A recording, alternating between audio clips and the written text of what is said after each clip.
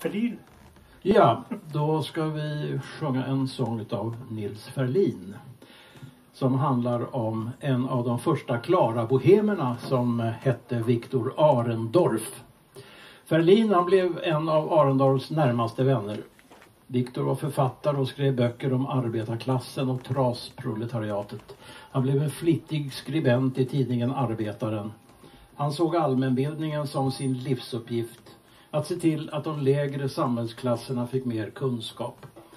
Det var därför naturligt för honom att skriva i arbetartidningar och i socialistiska tidskrifter, bland annat i Brand.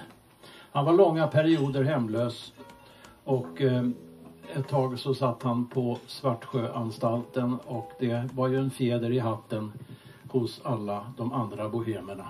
Så var stämningen. Eh, en gång sålde han nyheten om sin död till Dagens Nyheter men bara några dagar senare sålde han nyheten om att han var vid liv. Det sålde han till Arbetaren. Så här skaldade Nils Ferlin om den tid som Arendorf levde i.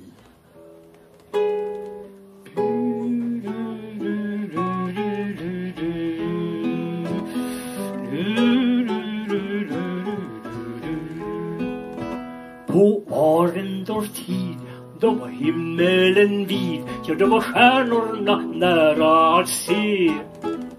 Det var glädje och skratt, blev man haffade natt. var det ingenting särskilt i det. Det var uppåt, det kan jag förkunna, fast man bodde ibland i en tunna. Och man frös och man svalt, men man klarade allt. Det var ingenting särskilt med det.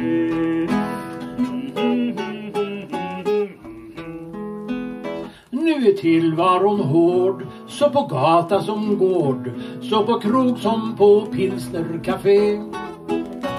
Men sitta så tyst som ett trä och en byst, kan ni se något särskilt i det?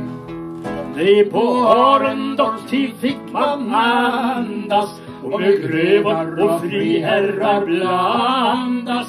Men var man dum i sin trut, ja då åkte man ut. Det var ingenting särskilt i det.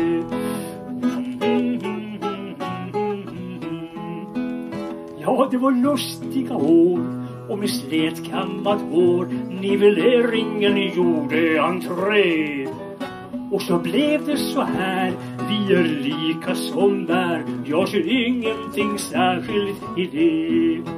Folk betalar sin skatt och är snälla, fast det inte är skatt originella.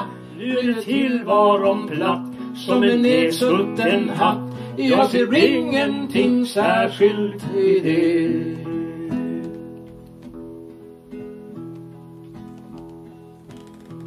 Ja, man lever och tär på den kropp som man bär.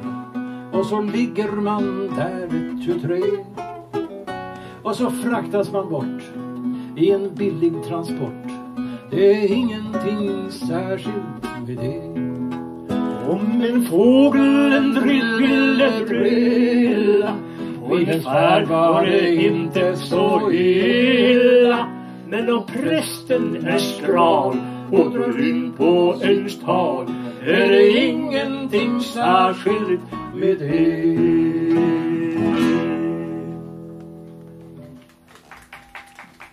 Tackar, tackar.